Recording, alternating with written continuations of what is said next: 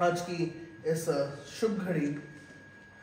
परमेश्वर हमारे पास जो आखिरी दिन पर या आखिरी दिवस पर जो वचन लेके आना चाहता है, वो ये है, धन्यवाद से भरा हुआ जीवन। धन्यवाद से भरा हुआ जीवन। आज की सुबह जब अपने आप को हम देखते हैं, प्रियो आप अपनी उम्र गिन सकते हैं और अपनी उम्र को गिन कर आप कह सकते हैं कि अब तक यहोवा मेरे साथ भला रहा। हालेलुया अब तक यहोवा ने मेरी चिंता करी। यहोवा ने यहोवा को मेरा स्मरण अब तक रहा। उसने अब तक मुझे नाम लेके पुकारा। हर सुबह उसने मुझे उठाया।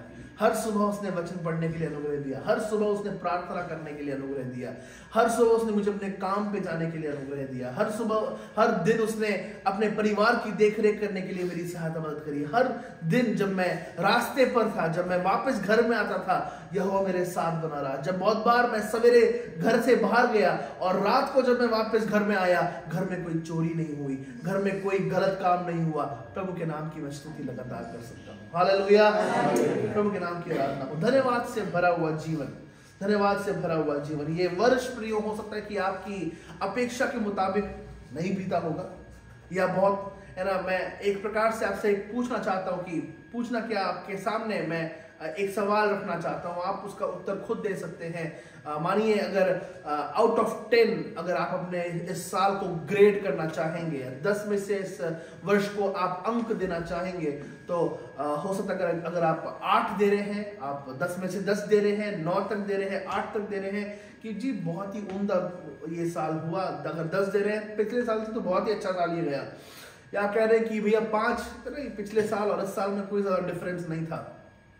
या कहते हैं कि मैं इसको सिर्फ़ दो अंक देना चाहूँगा, क्योंकि, है ना, इस साल और गड़बड़ी थी, इस साल और गड़बड़ी थी, इस साल और परेशानी थी। लेकिन प्रियो, आपकी गड़बड़ी और परेशानियों के बीच परमेश्वर आपके साथ था। उसने आपको छोड़ा नहीं। सबसे बड़ी गवाही हमारे लिए यही है। हाल हालेलुया।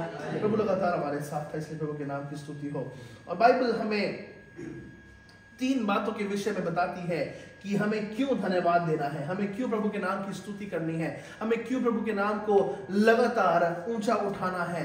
हम कह सकते हैं एक नई एक नया शब्द जो मैं डिक्शनरी में गूगल डिक्शनरी में इन दिनों में पा रहा हूँ, वो है धन्यवादता। धन्यवाद आधा द और ता। धन्यवादता, है ना? पता नहीं ये लोग नए नए वर्ड से उभर रहे हैं। और पहली बात धन्यवाद का जीवन अगर हमें रखना है तो सबसे पहला जो बिंदु परमेश्वर हमें देता है वो आनंद मनाकर। हालेलुया। यस प्रभु का वचन कहता है कि धन्य है वे जो मेरे नाम के द्वारा सताते सताए जाते हैं क्योंकि स्वर्ग में उनके लिए बड़ा प्रतिफल है। अगर आज आप प्रभु के नाम के लिए सताए जा रहे हैं है ना परमेश्वर आज आपको अपने आनंद से भरता है। प्रभु कहता है कि अगर लोग तुम्हें मेरे नाम के कारण सताए तो तुम आनंदित और मग्न होना। है ना? ये देखिए आनंद की जो बात है प्रेरित पॉलुस तेस्लोनिकिया की कलीसिया को पाँचवें अध्याय में अगर प्लीज़ अगर आप पढ़ सकते हैं तो अच्छा रहेगा। पाँचवें अध्याय के सोलहवें वचन से लेकर अठारहवें वचन तक पढ़िएगा। पहला तेस्लोनिकियो पांचवा अध्याय सोलहवें वचन से लेके अठारहवें वचन तक। सदा आनंदित रहो। सदा आनंदित रहो। निरंतर प्रार्थना में लगे रहो। हाँ। हर बात में धन्यवाद करो जी। क्योंकि तुम्हारे लिए मसीह यीशु में परमेश्वर की इच्छा यही है। तुम्हारे लिए मसीह यीशु में परमेश्वर की इच्छा यही है। और आगे भी है। आत्मा को ना बुझाओ। आत्मा को ना बुझाओ। हाँ। भविष्यवाणी को तुच्छ ना जानो। भविष्यवाणी को तुच्छ ना जानो। सब बातों को परखो। हम्म। जो अच्छी है उसे पकड़े रखो। हम्म। सब प्रकार की बुराई से बचे रहो। हालेलुया। आत्मा को ना बुझाओ। है ना? जो बात अच्छी है, उसे पकड़े रहो। बहुत बार मसीही जीवन में, है ना, लोग जो है, अच्छी चीज़ों को ना लेकर बुरी चीज़ों को ले लेते हैं। अरे, उन्होंने हमारे साथ ऐसे किया यार। अरे, उनके मुँह से ऐसी, प्रभु के दास के मुँह से ऐसी बात निकलनी क्या फपती है? ये ठीक है क्या? प्रभु प्रभु का वचन कहता है कि जो अच्छी बात है, उसको पकड़े रहो। उसको थामे रहो। जो बुरी बात बोल रहा है, ठीक है यार, बोल रहा है फाइन लेकिन उसको मुझे पकड़ने की ज़रूरत नहीं है। प्रभु उसको बदलेंगे। उसका जीवन एक दिन परिवर्तित होगा। उसका जीवन एक दिन बदला जाएगा। उसका जीवन एक दिन रूपांतरित होने वाला है। लेकिन हम प्रभु का धन्यवाद देते हैं कि हम अपनी आनंद की आग को या आत्मा की आग को ना बुझाएँ। हालेलुया। वो आग लगातार बढ़ती रहे प्रियो। आज की सुबह मैं आपके पास कोई बड़ा थियोलॉजिकल ना समझने वाली कोई बात नहीं बता रहा प्रियो। सबसे पहली बात, है ना, आनंद मना के हम प्रभु का धन्यवाद दे सकते हैं। हम कैसे प्रभु का धन्यवाद दे सकते हैं? आनंद मना के आनंद की जो बात है, आनंद मनाने की जो बात है, वो 18 बार बाइबल में लिखी है। 18 बार। तो कितना ज़्यादा प्रभु हमसे एक्सपेक्ट करता है, अपेक्षा करता है कि हम लगातार आनंद मनाते रहें, हम लगातार खुश होते रहे, हम लगातार प्रभु में सदा आनंदित रहे। अगर आप इस थेस्लोनिकियों की कलीसिया को अगर आप देखें तो इस कलीसिया में जो है, लोग भयानक भयानक सताव से होकर गुजर रहे थे। कलीसिया टूटने पर थी, सरकार विरोध में आ रही थी, लेकिन उस समय पॉलुस कहता है, लोगों ने अपनी जाने, जान तक गवा दी, जान तक लोगों ने गवा दी। और इसी आप ना जगह में पाएँगे कि पॉलुस उनसे कहता है कि तुम आनंदित रहो यार, अपने आनंद को मत बुझाओ क्योंकि जब आप आनंदित रहेंगे ना प्रियो, आपका विश्वास भी बना रहेगा। बहुत बार हमारा विश्वास ना टूट जाता है क्योंकि हम लोग निढाल जाते हैं, हम लोग झूल जाते हैं। बाकी बात है एक व्यक्ति जो है एक किसी बड़े फिगर को जो टीवी पे आते थे, उनको बहुत सराहता था और बहुत सराहते हुए उनको देखता था। अरे, बहुत अच्छा प्रचार करते हैं, अरे, बहुत अच्छी आराधना करते हैं। गलती से वो एक दिन ना पाप में पकड़ा गया। मैं बोलना नहीं चाहता कौन सा पाप है, पाप में पकड़ा समझ जाइए, पाप में पकड़ा गया। अगर पाप में वो व्यक्ति पकड़ा गया तो जो व्यक्ति इसको बहुत देखता था, कहता था कि यार, ये तो बहुत अच्छा व्यक्ति है, अच्छी अच्छा प्रचार करते हैं अच्छी प्रभु की आराधना करते हैं, वो अच्छा उसको एडमायर करने वाला व्यक्ति जो है, वो भी ठुस हो गया। अरे यार, उन्होंने ऐसे कर दिया। अरे यार, उन्होंने ऐसा कर दिया। बाद में उनकी मुलाकात जो है, जब हमसे होती तो हमने उनसे बस पूछा, आपका विश्वास उस प्रचारक पर आधारित था या आपका विश्वास यीशु मसीह पर आधारित था? मैंने कहा, प्रचारक पर आधारित था नहीं नहीं। यीशु मसीह पर आपका विश्वास आधारित होना चाहिए। प्रिय अगर आज आज तक हमने मनुष्य को देखकर अपना विश्वास आगे लिया होता ना तो आज तक हम विश्वास में नहीं होते। आज तक हमारा विश्वास पूरा नहीं होता। लेकिन हम प्रभु का धन्यवाद देते हैं। हाँ ज़रूर प्रभु ने पास्टर्स रखे हैं प्रभु ने अगुवे रखे हैं जो विश्वास के बारे में हमें बताते हैं। लेकिन ठोस विश्वास हमें यीशु मसीह और उसके वचन से मिलता है। That's it. हालेलुया और कोई बात हमारे पास नहीं है। ठोस विश्वास आज जो हमारे अंदर निवेश किया जाता है, जो हमारे अंदर डाला जाता है, जो हमारे अंदर एक्सटेंड किया जाता है, वो प्रभु का वचन है। वो खुद यीशु मसीह है। प्रियो आज की इस सुबह मैं आपका दिलासा बढ़ाना चाहूँगा कि अब तक आपको किसी प्रचारक ने नहीं चलाया है। अब तक आपको सिर्फ़ और सिर्फ़ महज यीशु मसीह की आत्मा ने अब तक आपको यहाँ तक लाया है और वही आत्मा आपको आगे लिए चलेगी। हालेलुया। विश्वास करने वाले कहीं हालेलुया। पौलुस कहता है कि सदा आनंदित रहो। सदा आनंदित रहो। मुझे याद है हम लोग जो है, एक बार गोवा ट्रिप पे गए। गोवा ट्रिप पे गए। यूजुअली मुझे ट्रिप्स पे जाना पसंद नहीं है, जब बहुत लोग हों, क्योंकि उतनी लड़ाई होने की संभावना होती है। उतनी चीज़ें होती है। आपको पता है प्रिय ना? मैं क्या क्या बोलूँ मैं? और थैंक यू वहाँ देखने के लिए। कैमरा चल रहा है। और राइट तो है ना? एक बार हम लोग वहाँ गए। वहाँ जाने के बाद जो है, एक परिवार का मुँह बना हुआ था, बुरा बना हुआ प्लेन फेस बाप रे। आप मम्मी को जानते हैं हमारी सिस्टर हाँ? हमने गलती कर दी, आपको लाके यहाँ पे। आप हमें बताइए। तो उन्होंने उन्होंने बोला ना सिस्टर आप हंस भी नहीं रहे आप मुस्कुरा भी नहीं रहे हैं। आपको गोवा ला के हमने गलती कर दी क्या? तो उन्होंने बोला कि सा मुस्कुरा लीजिए थोड़ा सा आप हंस लीजिए अच्छा रहेगा। नहीं तो मुझे लग रहा है कि हमें अभी वापस निकलना पड़ेगा। और उसके बाद से जो वो बहन हंसमुख बनने लगी, हंसने लगी, घट घट घट घट घट घट उनकी हँसी निकलने लगी। है ना? खैर, है ना? बहुत बार हमें पता नहीं होता कि बहुत सी अवस्थाओं में क्या करना है भाई।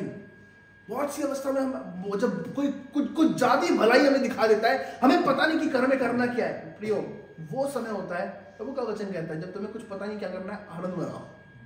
कुछ नहीं करो आनंद मनाओ।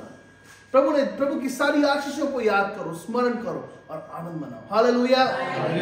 प्रभु के नाम की स्तुति हो। प्रियो यहाँ पे पौलुस इस आनंद के विषय में कह रहा है बार बार आनंद कह रहा है आनंद आनंद। ये प्रियो आनंद जो है ना खुशी से अलग है। याद रखिएगा खुशी क्या है? खुशी आपको अवस्थाओं के द्वारा प्राप्त होती है। कुछ अच्छा हो गया, जी हम खुश हो गए। कुछ अच्छा हो गया, जी हम और खुश हो गए। और अच्छी रिपोर्ट आई, और खुश हो गए। हल्की सी बुरी रिपोर्ट आई, अरे यार, ऐसा हो गया, चलो कोई बात नहीं लेकिन फिर से कोशिश करते हैं, अपनी खुशी बन चलो वो तो हो गया ना, चलो ठीक है, कोई बात नहीं। ये खुशी जो है, अवस्थाओं पर आधारित होती है। लेकिन आनंद जो है, वो हमारे प्रभु यीशु मसीह के द्वारा हम निवेश किया जाता है और अपने क्लेश में अपने दुख में अपने कर्जे में मौत में अपनी परेशानी में समस्याओं में संघर्ष में हम लगातार आनंद और आनंद और आनंद बना सकते हैं। हालेलुया। प्रभु के नाम की स्तुति हो। एक व्यक्ति मेरे सामने आ रहे हैं और वो सेवा में थे और मैं उनके पास जो है बाइबल कॉलेज में जब मैं पढ़ता था तो मैं उनके पास गया और उन्होंने कहा कि पास्टर उनके चर्च में जाने का मुझे मौका मिला। उन्होंने कहा पास्टर ये मेरी वाइफ है। मैंने कहा कहाँ पे है? हाँ इस कमरे में है। मैंने कहा, यूजुअली आंटियाँ चल के आ जाती है, मैंने कहा, नहीं होता कोई बात चलते हैं, कमरे में चलते हैं। मैंने कहा पास्टर जब मैं जैसे ही अंदर घुसा उस कमरे में, मैंने देखा ये, मैंने कहा कि, पास्टर, मेरी वाइफ यहाँ पे इस कमरे में पिछले पच्चीस साल से है और आज भी जीवित है। प्रभु ने उनको अब तक जीवित रखा है। मैंने कहा, पास्टर, आप कैसे मैनेज करते हैं बच्चों का? आप बच्चों को आपने कैसे पाला, पोसा? नहीं, मैंने खुद खाना बनाया, मैंने खुद चर्च को संभाला, मैंने खुद काउंसलिंग करी और लेकिन प्रभु अब तक भला रहा और उनके ऊपर एक, उनके फेस पर एक स्माइल थी। और वो स्माइल में आज तक भूल नहीं पाया प्रियो। पच्चीस साल की महिला पच्चीस साल से पीड़ित महिला जो बिछौने पर पड़ी लेकिन उसके बाद भी प्रभु ताकत दे रहा है प्रभु के दास को मुस्कुराने के लिए। और वो प्रियो बड़ा जंगल का इलाका, बड़ा जंगल का इलाका। मैंने कहा कुछ हो जाए भाई, जंगल है भाई क्या होगा? लेकिन फिर भी वो आनंद झलक रहा था, झलक रहा था। प्रियो, मैं विश्वास करता हूँ, प्रभु आने वाले 2024 में आपको इस आनंद से भरे। जब आपके पास कुछ भी ना हो, मैं ये नहीं कहूँगा कि प्रभु आपके जीवन में बुरी घड़ी नहीं लेके आएगा, बुरी घड़ी ज़रूर शैतान आपके जीवन में लेके आएगा। लेकिन आपका आनंद जो यीशु मसीह में पाया जाता है आपको उभारेगा। आपका आनंद जो यीशु मसीह में पाया जाता है आपके लिए एक बड़ी गवाही उत्पन्न करेगा। हालेलुया विश्वास करते रहिए प्रार्थना में जागरूक रहिए। पौलुस कहता है कि ये खुशी नहीं है लेकिन ये एक आनंद है। पढ़ेंगे हबक्कू की किताब उसके तीसरे अध्याय का सत्रहवा वचन कि आनंद एक्चुअली है क्या? पढ़िएगा। हबक्कू की किताब उसका तीसरे अध्याय का सत्रहवा वचन। देखिए अंजीर के वृक्ष में फूल ना लगे और ना में फल लगे में अगर फल भी ना लगे जलपाई के वृक्ष से केवल धोखा पाया जाए जलपाई के वृक्ष से अगर धोखा पाया जाए। धोखा धोखा पाया जाए। और खेतों में अन्न ना उपजे हाँ जी। भेड़शाला में भेड़ बकरियाँ ना रहे हम्म। और ना थानों में गाय बैल हो तो भी मैं हवा के कारण आनंदित और मगन रहूँगा और अपने उद्धारकर्ता परमेश्वर के द्वारा अति प्रसन्न रहूँगा। बाप रे हबक्कुक तीन का सत्रह हबक्कुक तीन तीन का सत्रह। यस यहाँ पे आपने वचन सुना? कितने ने वचन सुना जो पढ़ा गया कि ढूँढने में लगे रहे? यस हाँ? हाँ नहीं सुना। अच्छा अब बाइबल निकालना बंद कर दीजिए। मत मत छेड़िए बाइबल को। नहीं निकाल पा रहे रहने दीजिए। दीदी फिर से पढ़िए। ये ऐसे शैतान बीच चौराता है ना? नहीं निकाल पा रहे आप कोई बात नहीं। आप बस नोट डाउन कर लीजिए आप घर जाके पढ़िए। लेकिन अभी आप ध्यान से वचन सुनिए। पढ़िए सिस्टर क्योंकि चाहे हम्म। अंजीर के वृक्ष में फूल ना लगे और ना दाखलताओं में फल लगे जलपाई के वृक्ष से केवल धोखा पाया जाए और खेतों में अन्न ना उपजे भेड़शालाओं में भेड़ बकरियाँ ना रहे और ना थानों में गाय बैल हो तो भी मैं यहोवा के कारण आनंदित और मगन रहूँगा और अपने उद्धारकर्ता परमेश्वर के द्वारा अति प्रसन्न रहूँगा। सारा बिज़नेस ही उथल पुथल है। भेड़शाला में भेड़ ना रहे अन्न की जगह पर अन्न ना उगे और खानों में खानों में बाय- गाय बैल ना रहे। आगे सबसे पहला आपने क्या पढ़ा? अंजीर के वृक्ष में फूल अंजीर के वृक्ष में फूल ना लगे। फूल से ही वहाँ पे फल निकलता है। बाप रे।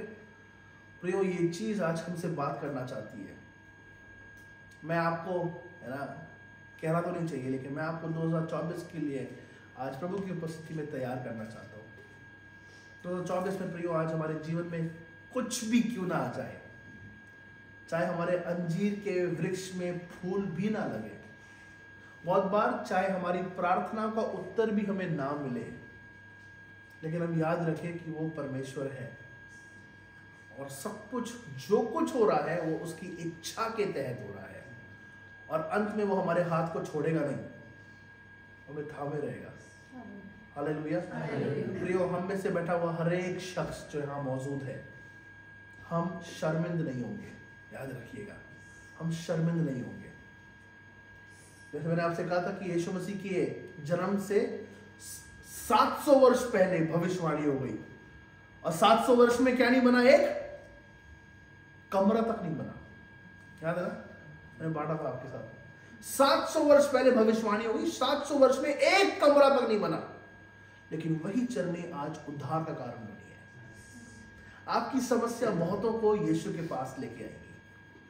आपकी समस्या आपकी आपत्ति आपकी विपत्ति आपके लिए लगती होगी बड़ी प्रॉब्लम प्रॉब्लमैटिक चीज़ है यार ये लेकिन उस प्रॉब्लम के द्वारा परमेश्वर अपने नाम की महिमा करना जानता है।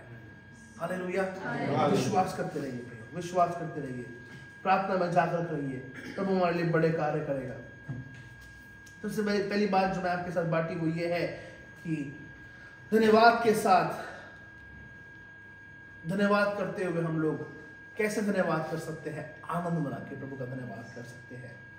है ना? और ये धन्यवाद करने का या धन्यवाद के जीवन को जीने का पहला इंग्रेडिएंट है। है ना? अ, मैं देखता हूँ हमारे अ, पापा लोग बहुत अच्छी बिरयानी बनाते हैं।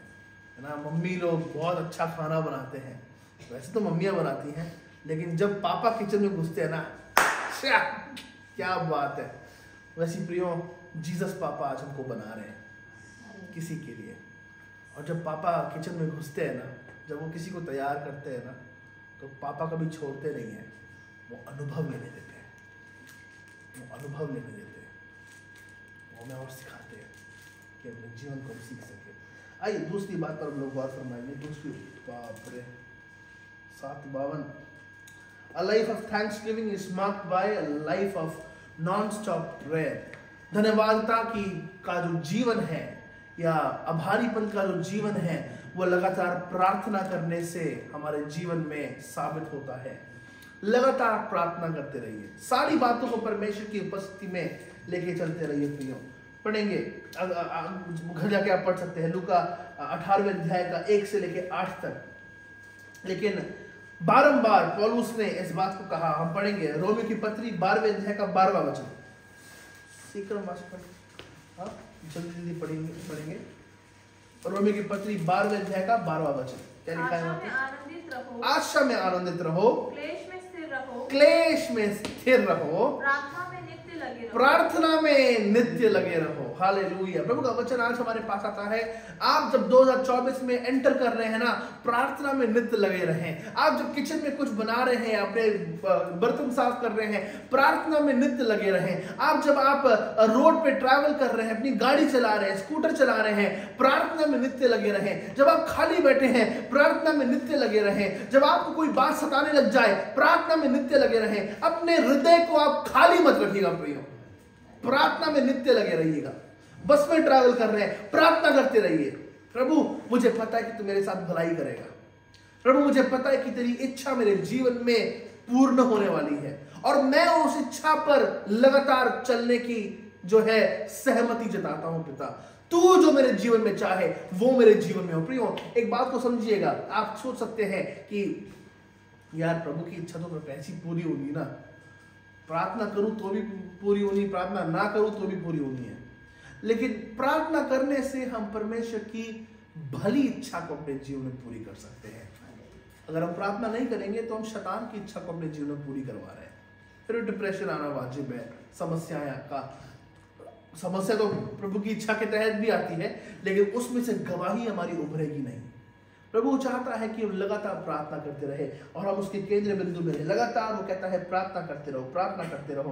है ना, हम जब पढ़ते हैं दानियल नबी की पुस्तक, उसके दसवें अध्याय का बारहवा वचन, वहाँ पे पाते हैं कि उसने उपवास करना शुरू किया और जब वो अपने 21 दिन की उपवास प्रार्थना में था और प्रभु से उत्तर मांग रहा था और प्रभु का दूत उसके पास 21वें दिन में आता है। पढ़िए प्लीज़ दानियल हाँ हाँ फिर उसने मुझसे कहा हाँ हे दानियल मत डर क्योंकि पहले ही दिन जब तूने समझने स, आ, समझने बूझने के लिए मन लगाया हम्म। और अपने परमेश्वर के सामने अपने को अपने को दीन किया हम्म। उसी दिन तेरे वचन सुने गए हम्म। और मैं तेरे वचनों के कारण आ गया हूँ हालेलुया मैं तेरे वचनों के कारण आ गया हूँ पहली ही बार जब उसने प्रार्थना करी, प्रभु ने उसकी प्रार्थना को सुनना चाहा। प्रभु ने उसकी प्रार्थना को हाँ और आमीन में पूरा करना चाहा। लेकिन वहाँ पे लिखा है कि पारस का राजा या पारस का वो दुष्ट मेरे विरोध में आ गया। बहुत बार प्रियो हमारी प्रार्थनाएँ तो चलती हैं, लेकिन दुष्ट हमारे विरोध में आते हैं। लेकिन अब हियाव ना छोड़े। है ना? अगर उसने प्रार्थना करते करते ग्यारहवें दिन हियाव छोड़ दिया, प्रभु, अब कुछ नहीं हो रहा, प्रभु। दस दिन मैंने प्रार्थना कर ली, ग्यारहवें दिन मैं पागल नहीं हूँ कि मैं लगा रहूँगा। तू नहीं दे रहा, ठीक है, तेरी मर्ज़ी प्रभु मैं नहीं कर रहा कुछ। नहीं नहीं, प्रियो, वो लगातार प्रार्थना करते रहा। है ना, वो मनुष्य नहीं कि वो झूठ बोले।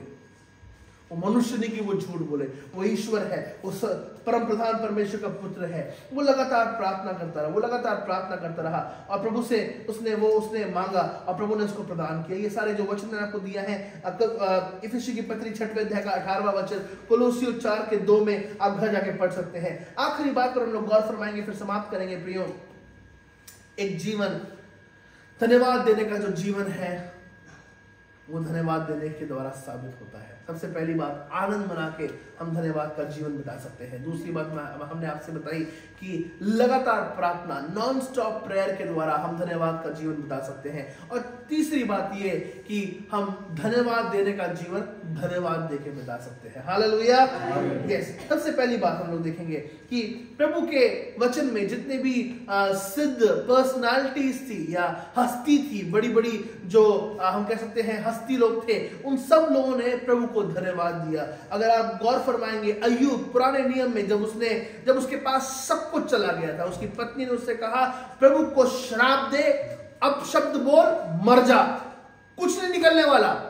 अब कुछ नहीं आने वाला तेरे पास। वो अपने गाँव को ईंट से घिस रहा था। कुत्ते आके उसके गाँव को चाटने लग गए थे। और उस समय उसने परमेश्वर को धन्यवाद दिया। प्रियो, हमारे जीवन के सबसे बुरे समय में क्या हमारे पास ये हिम्मत है कि मैं प्रभु को बोल सकूँ? धन्यवाद प्रभु। धन्यवाद प्रभु। प्रभु आपकी परिस्थिति को बदलना चाहता है और वो अयुब के समान आपको दुगना देने वाला परमेश्वर है। यीशु मसीह ने जब पाँच हज़ार लोगों को खिलाया, तब उसने अपने हाथ को उठा के पिता का धन्यवाद किया। फिर हम पाते हैं, पौलुस और सिलास जब बंदी गृह में बंद थे, उन्होंने परमेश्वर का धन्यवाद और स्तुति करनी शुरू करी। सबसे पहली बात हमें इस बात को जानना है, प्रियो, जब हम प्रभु के नाम को धन्यवाद देते हैं, प्रभु हमारे लिए एक असाधारण मार्ग खोलता है। प्रियो, मैं आपको इस बात को ज़रूर बताना चाहूँगा। 2024 में आप धन्यवाद देना बंद मत कीजिएगा। अपनी हर अवस्था में आप लगातार प्रभु के नाम को धन्यवाद देते रहिएगा। आपके साथ जो भी घट रहा हो, आनंद मनाना मत भूलिएगा लगातार प्रार्थना करना मत भूलिएगा लेकिन सबसे पहले लगातार धन्यवाद देते रहिए। हम लोग से प्रभु से बोलते हैं प्रभु जी मुझे बस ये दे प्रभु जी मुझे वो दे प्रभु जी मुझे परिवार के लिए ये चाहिए। लेकिन हम बहुत भूल जाते हैं कि परमेश्वर ने कितनी बड़ी बड़ी आश्चर्य के कारण आश्चर्य कर्म के काम और कितने बड़े बड़े असंभव काम उसने हमारे लिए पूरे किए हैं। और वो आगे भी करेगा। हालेलुया। हम पढ़ेंगे एक वचन। फिर हम समाप्त करेंगे। फिलिपी की पत्री चौथे अध्याय का सातवां वचन। फिलिपियों की पत्री चौथे अध्याय का सातवां वचन। तब परमेश्वर की शांति जो सारी समझ से परे है हम्म। तुम्हारे हृदय और तुम्हारे विचारों को मसीह यीशु में सुरक्षित रखेगी हालेलुया। जब आप धन्यवाद देंगे। तब परमेश्वर की शांति जो सारी समझ से परे है। है ना एक ऐसी शांति होती है जब ये कुछ आ गया ना बड़ी शांति मिली। कुछ लोग कहते हैं जब हमने कुछ खा लिया आह, शांति घुस रही अंदर बिल्कुल। है ना कुछ लोग कहते हैं कि जी, है ना, दुष्ट के मरने पर लोगों को प्रजा को शांति मिलती है ना, लेकिन जब हम धन्यवाद देते हैं तो प्रभु का वचन कहता है कि परमेश्वर की शांति जो सारी समझ से परे है। जब मेरे पास एक रुपया भी जेब में ना हो, लेकिन तब मैं जब धन्यवाद दूँ, परमेश्वर की शांति जो सारी समझ से परे है, मेरी अपेक्षाएँ जब पूरी ना हो, तब मैं जब धन्यवाद दूँ, परमेश्वर की शांति जब जो सारी समझ से परे है आपके दिमाग और आपके मन को घेर लेगी। प्रियो 2024 में जब आप प्रवेश करते हैं आप परमेश्वर की शांति के साथ प्रवेश करें। हालेलुया। आपका परिवार शांति में रहे। प्रभु आपको अपनी सामर्थ से परिपूर्ण करें। लगातार इस बात को याद रखिएगा। तीन बातें मैंने आपके साथ बताई है। सबसे पहले कौन सी? आनंद मना के हम धन्यवाद दे सकते हैं। दूसरी बात? प्रार्थना करके। बिना रुके प्रार्थना करके प्रभु को धन्यवाद दे। सकते तीसरी बात। सॉरी धन्यवाद। धन्यवाद देके हम प्रभु का धन्यवाद दे सकते हैं। प्रभु आपको आशीष दे।